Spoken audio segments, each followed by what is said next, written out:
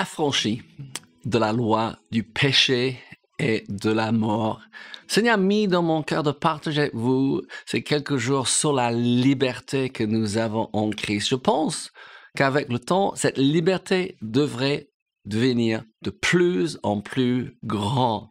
Amen. Jésus est venu, n'est-ce pas, non pas pour nous nous condamner, mais pour nous sauver, affranchis de la loi. Il y avait une loi du péché et de la mort qui régnait en nous et Jésus, entrant sur la terre, est venu pour briser cette loi et, et vient chez nous, chez toi et chez moi aussi pour nous infranchi. Je sais pas si vous avez dit ce matin que tu es libre, mais c'est bon de, de, crier au Seigneur aujourd'hui quand vous êtes en train de regarder par replay, de dire je suis libre en Jésus-Christ. Amen. C'est bon, ça nous fait du bien. Et moi, j'aime lever les mains. Même quand je suis en train de marcher dans la rue, je lève les mains, je bénis, oui, au-dessus de l'écran, je bénis le Seigneur et vous devez faire pareil. Romains 8, verset 2, et combien j'aime ce chapitre de Romains 8. Euh, tellement de choses qu'on peut apprendre là, mais on va nous fixer sur le verset 2. Il dit, en effet, la loi de l'esprit de vie en Jésus-Christ m'a affranchi de la loi du péché et de la mort. Il y a une loi de gravité, mais il y a aussi une loi de lift. Oui, la loi de gravité, nous garde sur Terre, mais la loi de lift permet aux avions de décoller. On a décollé beaucoup ces derniers temps. Et combien on apprécie qu'une loi peut, euh, je sais pas quel est le mot, supersede, oui, aller au-delà, euh, dépasser notre, et la loi de l'esprit de vie en Jésus-Christ nous affranchit, et la, le verset, le, le, le c'est ma affranchi, pas il va le faire, mais il l'a fait de la loi, du péché et de la mort. Nous avons eu une nature pécheresse. Je pense pas que j'ai vraiment compris pendant les premières quelques années de ma vie chrétienne et surtout que les gens disaient tout le, tout le temps, on était des pauvres pécheurs sauvés par la grâce de Dieu, mais sauvés par la grâce était minime en comparaison du fait qu'on était des pauvres pécheurs.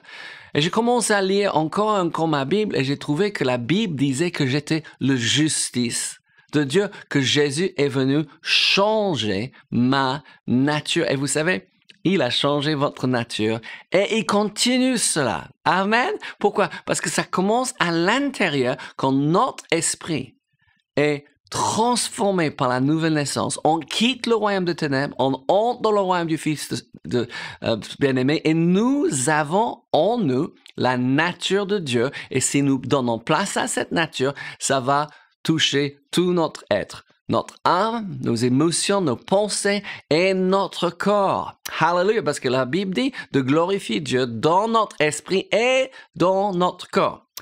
1 Corinthiens 7, verset 22 parle aussi du fait que nous sommes affranchis. Oui, vous êtes affranchis. Maintenant, si vous vivez comme un affranchi ou pas, je ne sais pas, mais c'est la, position dans laquelle vous êtes spirituellement. Qu'est-ce qu'il dit?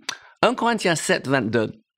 Car l'esclavage, car l'esclave qui a été appelé dans le Seigneur et nous étions esclaves au péché est un affranchi du Seigneur, de même que l'homme libre qui a été appelé est un esclave de Christ. Oui, hallelujah. Nous étions des esclaves du péché, de cette loi du péché la mort. Maintenant, nous sommes, oui, affranchis du Seigneur. Hallelujah. Je suis libre. Merci Seigneur. Faut remercier le Seigneur tous les jours pour ce qu'il a fait pour nous. Nos bouches devaient être remplies d'action de grâce, de reconnaissance. Nous devons louer le Seigneur parce qu'il est bon et sa miséricorde a toujours et je suis l'affranchi et je suis affranchi de quelque chose de particulier. Bonjour les amis, quelle joie de vous avoir nous rejoindre. Oui, ici c'est en live, en replay. On aime beaucoup vos remarques, vos commentaires. Vous pouvez poser des questions, on reviendra là-dessus, on lit tout. On est juste béni que notre émission puisse vous bénir, vous toucher et n'oublions pas oui, n'oubliez pas de partager avec les autres. Amen. Hallelujah. OK. ma nature, ma, la ancienne nature a été crucifiée avec Christ. Et je ne sais pas euh, si vous avez déjà médité ce verset, mais c'est vraiment un verset à, à tourner dans la tête, tourner dans euh, la bouche. C'est en Galate de 20. Et je sais ouais, que la plupart de vous, vous connaissez ce verset, mais vous savez, entre connaître et vivre, il y a deux différentes choses. Donc quand je commençais à lire, peut-être vous dites, ah oui, je connais. Si vous ne le connaissez pas, va trouver votre Bible, un moment aujourd'hui et va le souligner ou votre smartphone. Vous pouvez souligner votre smartphone. À l'époque, j'écrivais ces versets sur un bout de papier et je les portais dans ma poche pendant des jours et des jours. Et l'instant que j'avais un moment, Ouais, je sortais le, le, verset et je le lisais à moi-même à haute voix, ouais, et je le méditais comme ça jusqu'à que c'était établi dans mon cœur. Qu'est-ce qu'il dit? Donc, Galate 2.20, il dit, j'ai été crucifié avec Christ. Et dit, oui, mais j'étais pas vivant. Oui, et quand on parle spirituellement, d'accord. Quand Jésus est monté sur la croix, nous sommes montés sur la croix avec lui. Paul va expliquer ça dans le moment autrement. Il dit, j'ai été crucifié avec Christ. Et si je vis, dis avec moi, je vis, je vis en Christ. Amen. Ce n'est plus moi qui vis. Je ne vis plus seul, n'est-ce pas? Mais c'est Christ qui vit en moi. Le problème pour la plupart des chrétiens, pourquoi? Ils se permettent d'être découragés, ils se permettent aux circonstances, aux situations de dominer leur vie, ils oublient. Ils oublient de dire, Christ vit en moi, c'est l'espoir de la gloire, Colossiens nous dit. C'est une réalité éternel et nous avons besoin de nous rappeler en partant aux études, en partant au travail, en partant aux grandes surfaces, même en partant en vacances. Hein, n'oublie pas que Dieu veut venir avec nous toujours. Adam et Ève venaient de pécher et Dieu est descendu dans le jardin pour passer du temps avec eux. Amen. Dieu veut passer du temps avec vous tous les jours. Donc, qu'est-ce qu'il dit? C'est Christ qui vit en moi. Et si je vis maintenant dans la chair, et quand j'enseigne nos études à Réma, cela dit, oui, est-ce que vous vivez dans la chair? Donc, il y a une petite nuance, vous savez, vivre dans la chair et vivre selon la chair, deux choses tout à fait différentes. Il dit, si vous ne croyez pas, certains sont trop spirituels pour leur propre bien, ils pensent qu'on ne vit plus dans la chair. Je suis seulement un être spirituel. Non, pensez-vous? Il vous dit, ah oui, je vis dans la chair. Si je vis dans la chair, oui, qu'est-ce qu'il dit? Je vis dans la foi au Fils de Dieu qui m'a aimé et qui s'est livré lui-même pour moi. Je vis par la foi. Ça veut dire, je ne vis plus seul. Je suis en train de déclarer plus grand celui qui est en moi que celui qui est dans le monde. C'est Dieu pour moi qui peut être contre moi.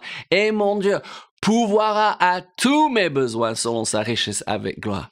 On vit par la foi, en croyant, en déclarant et en agissant selon la parole de Dieu. Amen. Comme si c'était vrai parce que c'est vrai. Hallelujah. Gloire à Dieu. J'ai été crucifié. Si j'étais crucifié avec Christ, quelque chose a changé. Je ne suis plus l'homme que j'étais auparavant. Non, je ne sais pas comment vous étiez auparavant. Une chose que moi, je sais, j'étais égoïste. J'ai cru que le monde tournait autour de moi. C'est quelque chose qui a été changé le jour que j'ai accepté Jésus parce que cette ancienne nature, nature qui pensait que les gens existaient uniquement pour mon bien a changé et j'ai commencé de vivre pour leur bien. Hallelujah. Oh, que c'est mieux d'être chrétien, n'est-ce pas? OK. N'oublions jamais, l'encouragement est l'oxygène de l'âme. Ce n'est pas seulement pour John et Laura de vous encourager. Vous avez votre part prier et je vous demande, décide d'être encouragé aujourd'hui, mais surtout, demande au Seigneur, qui est-ce que je peux encourager? Et ça peut être avec quelque chose que vous savez depuis longtemps ou quelque chose que vous avez appris aujourd'hui, un message que vous avez entendu de la part de pasteur à l'église ce week-end passé ou quelque chose que vous entendez ici à Avomark. Mais surtout, Ouais. Soyons des porteurs d'encouragement. Alléluia. Nous, nous ne soyons plus d'esclaves. Nous avons été affranchis de la loi, du péché et de la mort.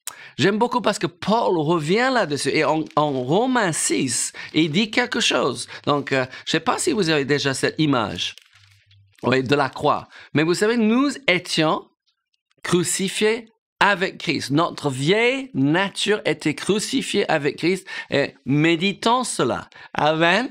Hallelujah. OK, donc Romains 6, versets 6 et 7 dit ceci. Et quelqu'un a dit, ah mais c'est drôle, on a l'impression que euh, un, des voleurs à côté de Jésus était le père de Paul. Mais pourquoi tu dis ça? Parce qu'il dit, sachant que notre vieil homme, il dit, mon vieil homme, mon vieux, a été crucifié avec lui. non, c'était pas son père, c'était son vieil homme, c'était cette vieille nature. Il dit, notre vieil homme a été crucifié avec lui afin que le corps du péché fût détruit pour que nous ne soyons quoi? Plus esclaves du péché. Vous vous rappelez comment c'était avant d'avoir accepté Jésus? Tu étais esclave du péché? On aimait le péché, mais on était adonné, on était addict au péché. Et différents étaient addicts d'autres choses, mais vous savez, ce péché, cette loi du péché nous amenait à la mort. C'était pour nous détruire. Il faut jamais oublier que Satan a un plan pour votre vie et il faut lui donner aucune place. Ouais, qu'est-ce qu'il veut? Il veut voler, il veut te tuer, il veut détruire. Mais Jésus est venu, hallelujah, pour nous donner la vie et la vie en abondance. Et cette loi de péché, oui, cette nature pécheresse nous attachait au diable. Donc, qu'est-ce que Jésus a fait? Il a brisé cet attachement. Et nous pouvons dire, j'ai été crucifié avec Christ, mon vieil homme a été crucifié avec Christ, je ne suis plus esclave. Et il faut le dire. Parce qu'il y a certaines choses qui veulent s'attraper encore à votre corps. Peut-être vous êtes en lutte avec un péché qui revient. Meilleure chose que vous pouvez faire, l'instant que vous péchez, demandez pardon. Mais commencez à dire, je suis libre. Ce péché ne va pas m'abattre parce que Jésus en moi est plus grand que le diable qui est dans le monde. Amen? Car celui qui est mort est libre du péché. Ça, c'est vraiment important car celui qui est mort est libre du péché. Et vous voyez, oui, cet ancien homme, ancienne femme, est mort, elle est morte. Oui, cette ancienne personne est morte. Oui, je suis ressuscité en Christ. Amen. Je sais qu'on attend la résurrection oui, pour, pour nos corps, mais, mais spirituellement, nous sommes ressuscités avec Christ.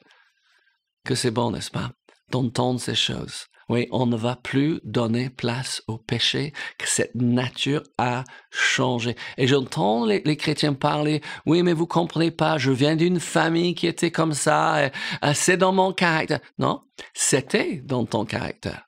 Oui, mais ce caractère change. J'aime tellement quand ma chérie, quand Laura partage sa vie, parce qu'avant, elle, elle a dit, oui, combien elle était fâchée avec le monde. On lui a fait tellement de mal. Et elle disait, tu me regardais à travers, j'attendais de cogner. Et je sais que quelquefois les gens pensent qu'elle plaisante, mais vous savez, elle, cognait les gens. Elle, elle a pris le troisième place. Oui, aux Jeux olympiques juniors aux États-Unis. Elle était costaud. Et vous savez, elle m'a dit, mais j'étais tellement méchante. J'étais gothique avant que les gothiques existaient. Elle s'habillait en noir, elle se maquillait en noir et elle est fâchée. Elle était fâchée avec le monde, mais vous savez, Jésus est entré dans sa vie. Elle pensait à un moment qu'elle avait fait trop de mal, qu'elle ne pouvait pas être pardonnée. Mais elle a entendu les témoignages des hommes et des femmes de différents milieux qui ont dit Jésus a changé leur vie quand ils sont ils ont invité d'être le Seigneur. elle a dit, c'était sa prière, Seigneur, si tu peux faire quelque chose avec ma vie, je te l'offre. Elle a dit, à ce moment, elle sentit comme deux tonnes sont montées de son épaule. Et tout le monde voit Laura, la plus gentille, qui a un cœur, qui veut faire tout ce possible pour aider les gens. Moi, je vois la compassion de ma femme. Et dit, seul mon Dieu peut faire ça. Et vous savez, s'il peut faire ça avec Laura, s'il peut faire ça avec moi, il peut faire avec vous il est venu oui, pour nous affranchir de la loi du péché et de la mort, nous rendre libres. Et je pense c'est vraiment bon que vous preniez l'habitude de, de, déclarer votre liberté et ne donnez plus place à ces choses du passé, parce que nous sommes une nouvelle créature en Jésus. Que le Seigneur vous bénisse. N'oublie pas de, de partager avec les amis. On apprécie beaucoup votre participation. Nous vous aimons. À très bientôt.